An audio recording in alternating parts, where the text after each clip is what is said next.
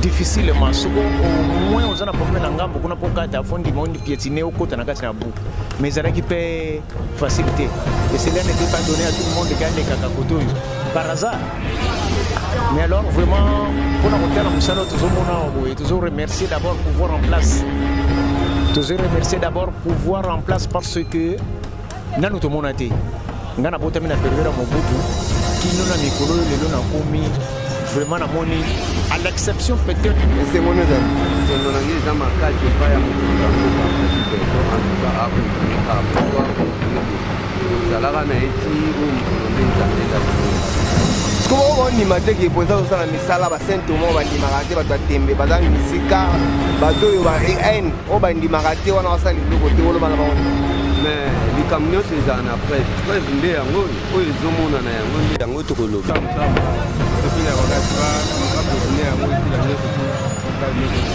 bokopesa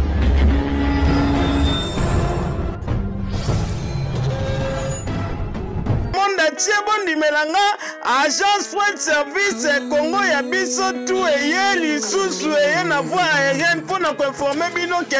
banda lelo bobanda kotinda biloko na bino na fret aérienne par avion otinda oza na pondu to oza na mwa mongusu mwa koli na yo kaka na ndenge ya ideologie na deux jours ndimelanga ndeko ozwi yango mobimba balobi allemagne de kinshasa kinshasa allemagne de soko olingi otinda biloko na yo ndimelanga okozwa yango mobimba Ba voix aerienne bo prete biloko na bino parce que agence eza kaka moko fret service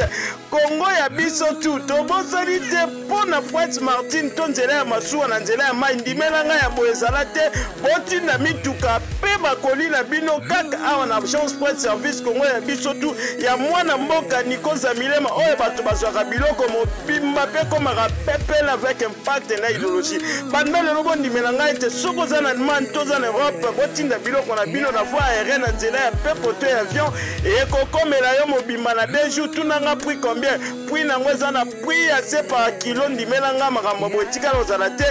eza kaka na agence fret service congo ya biso tu soki olingi okontakte biso bobenga biso na nimero oyo bokozwa biso mobimba tinda biloko na yo ekokoma avec assurance mpe awa bandeko bayaka kozwa biloko na bango na kimia mpe na esengo nyonso bobenga biso na nimero mpe bomona adresse na biso eza na avec impact na idologie agent soin de service kongo ya biso tu kala boye ozalaki wapi ekei Mama malobi solution eye awa na République démocratique du Congo mpona ba séjour na bino awa na kati ya Kinshasa balobi France ya auberge ya la benediction ya mwana mboka akongeli biso na ba norme internationale ya boye etikala jamais kozala na République démocratique du Congo balobi toza na ba appartement de chambre plus salon cuisine douche toilette mpe veranda tobosani lisusu te toza na studio chambre plus douche toilette voiture kutu mpo na bakliya eza nango disponible likambo ya mai mpe courant balobi pepele ya mbetolo tobosani wana te tozwami na adresse avenue mosaba 2 numero 28 commune anjili quartier 5 référence ekole ya bababa Arrêt Saint Thérèse, wana deja oza mobimba ba séjour na yo koleka pepele ya mbetolo sécurité ekuba. Soyez le bienvenu papa mama na kata flat auberge kitoko pe na toza na appartement oyo eza ya deux chambres hein, okoya vacances na yo obikende ya na bana donc awa toza na deux chambres salon cuisine douche na kati balcon esiko naza awa bozomona na bililingi ezomonana epuis toza na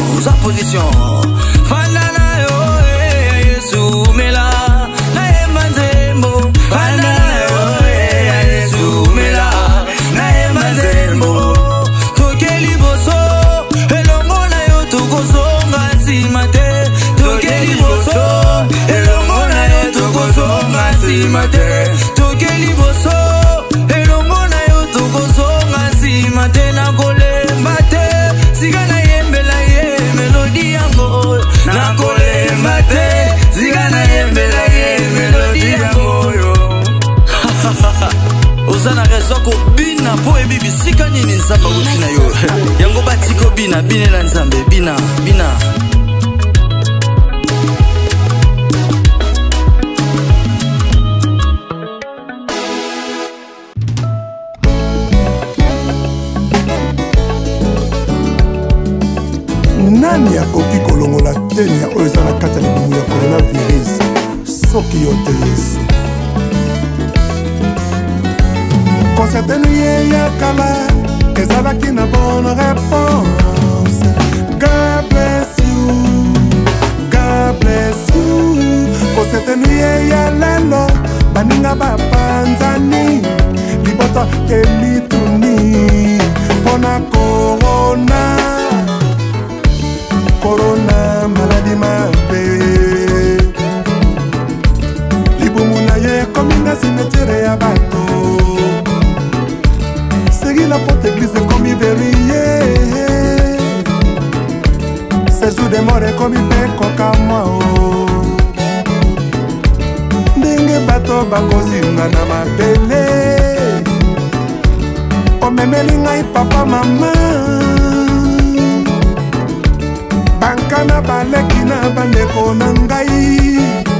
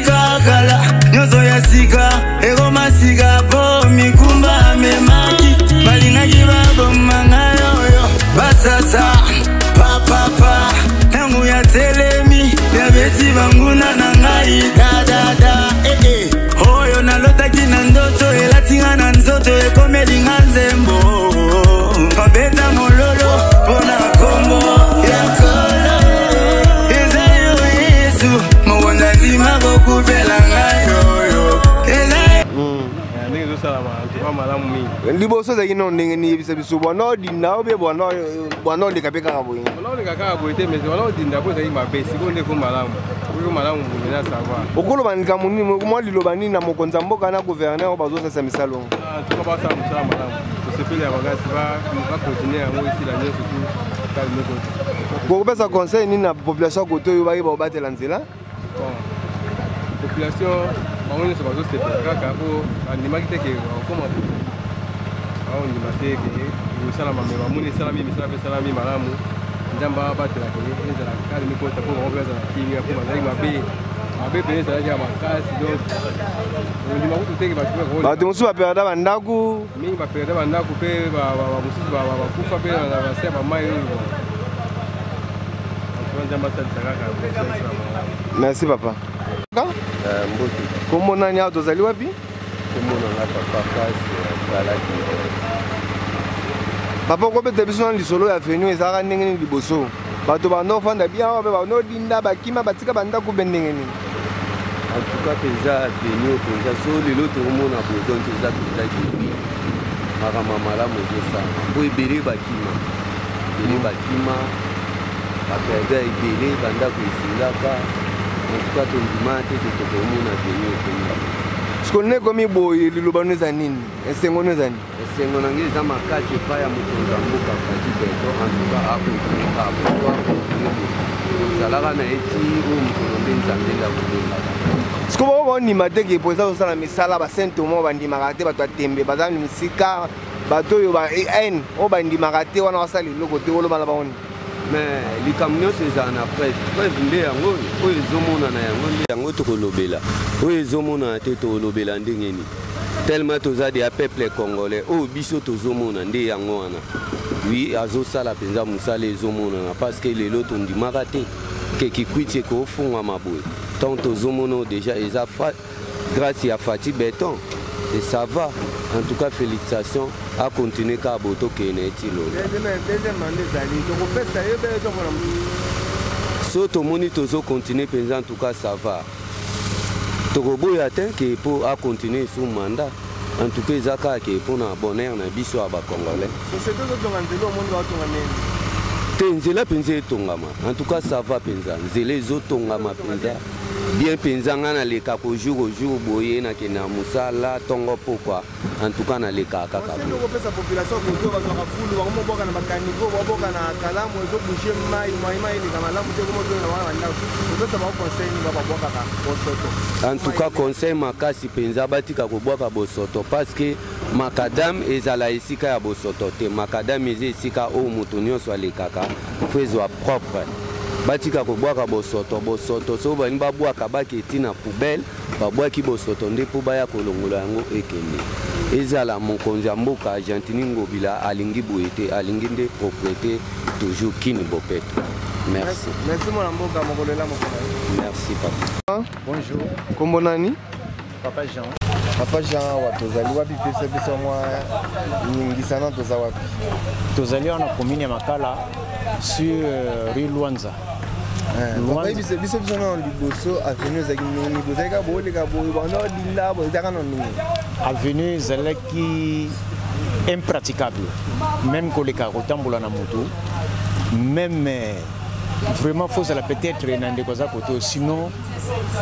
eh, personnellement euh, personnellement impraticable na mutu nyonso difficilement soko au moins oza na problème na ngambo kuna mpo kati afondima ondi piétine okota na kati na bu mais ezalaki mpe facilité et cela n'était pas donné à tout le monde ke alekaka kote oyo par hasard mais alors vraiment mpo na kotala mosala oyo tozomona awa boye tozo remercier d'abord pouvoir en place tozo remercier d'abord pouvoir en place parce que nanu tomona te ngai nabotami na periode ya mobutu kino na mikolo oyo lelo nakomi vraiment namoni à l'exception peut-être ya premier ministre lunda bololo asali extra asali extra na pont lunda bololo oyo ya bandal mais au reste en tout cas ils ont tous échoué oyo nyonso baleki na pouvoir ya mokili ya mboka oyo congo démocratique mais vraiment merci remerciement epa président faci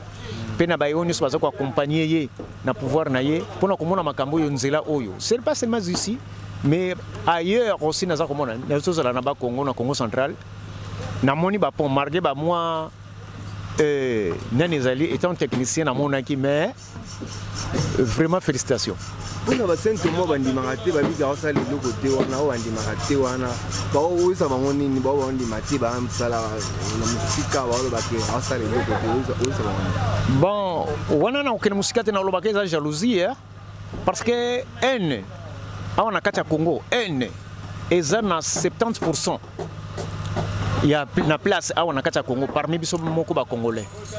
haine eza na 70 pourcent meme 80 pourcent nakoki koloba alors soki tolingani nde nakanisi au bout de deux ans mboka ekozala mpe boye te peut-être ça sera le double ya oyo esalami banda Debut ya pouvoir, prise ya pouvoir ya president Fatshi na moko na lelo. Un petit conseil kopesa la population pour tout le monde na pe batongeli bango ba caniveau, batongeli bango tombo, bango bwaka ba wakuye, hmm. pour boucher nzela mai, pour mai eleka malamu, pour kopesa bango conseil. Wana eh, faut ba dirigeants ya place banda na ba chef de rue chef de quartier bazwa conscience ya koyeba koyebisa population ke batika kobwaka badeshe na bango na bacarniveau parce que bango nde baza kodétruire et ce sont les premiers ya kocritiquer ils seront encore les premiers ya ko loba n'importe quoi na pouvoir en place euh, mpo na président motema malamu boye 2023 élection ezali tocontinue ebe tochange mosusu non fo tocontinue topesa ye deux mandat na ye ndenge eza na constitution azwa yango pour moi même si pas des élections mais aleka tomona lisusu komisa bango to juge ye na nsima na mboka mokolela moko na yo eh, ezala mpe loko na yo bana poto bana afrike bana monde atie bondimela nga agence point service congo ya biso tu eye lisusu eye na voi aérienne mpo na koinforme bino ke banda lelo bobanda kotinda biloko na bino na point aérienne par avion otina oza na conduit oza na mwa mongusu mwa koli na yo kaka na ndenge ideologie na deux jours ndimelanga ndeko ozwi yango mobimba balobi allemagne de kinshasa kinshasa allemagne de soko olingi otinda biloko na yo ndimelanga okozwa yango mobimba bavoie aérienne bofete biloko na bino parce que agence eza kaka moko point service Congo ya biso tu tobosani te mpo na Fred Martin to nzela ya masuwa na nzela ya mai ndimela ngai ya boye ezala te botinda mituka mpe makoli na bino kaka awa na agence près service Congo ya biso tu ya mwana mboka Nicosa Milema oyo bato bazwaka biloko mobimba mpe ekomaka pepele avec pacte na ideologie banda lelo bondimela ngai ete soki oza na allemagne to oza na europe botinda biloko na bino na voi aérien na nzela ya mpepo to ya avion ekokomela yo mobimba na deux jours tunanga prix combien prix nango eza na prix ya se par kilo ndimela ngai makambo ya botikala ozala te eza kaka na jean fred service kongo ya biso tu soki olingi okontakte biso bobenga biso na nimero oyo bokozwa biso mobimba tinda biloko na yo ekokoma avec assurance mpe awa bandeko bayaka kozwa biloko na bango na kimia mpe na esengo nyonso bobenga biso na nimero mpe bomona adresse na biso ezana avec impact na idologie agent soin de service kongo ya biso tu kala boye ozalaki wapi ekei mama malobi solution eye awa na république démocratique du congo mpona baséjour na bino na kati ya kinshasa balobi place ya auberge ya la bénédiction ya mwana mboka bakongeli biso na banorme international ya boye etikala jamais kozala république démocratique du congo balobi toza na baappartement de chambre plus salon cuisine douche toilette mpe veranda tobosani nsu te toza na studio chambre plus douche toilette voiture kutu mpo na bakliya eza nango disponible likambo ya mai mpe kura balobi pepele ya mbeselo tobosani wana te tozwami na adresse aveni mosaba de numero 28 commune anzili quartier 5 référence ekole ya bababa areceteres wana dejoza mobimba basejour na ye koleka pepele ya mbetelo sécurité ekuba soye le bienvenu papa mama na kata flat obelge kitoko mpe na toza na appartement oyo eza ya deux chambres okoya vacance na yo obikende ya na bana donc awa toza na deux chambres salon cuisine douche na kati balcon esiko naza awa bozomona na bililingi ezomonana epuis toza na studio oyo eza vraiment complet studio douche nyonso coucou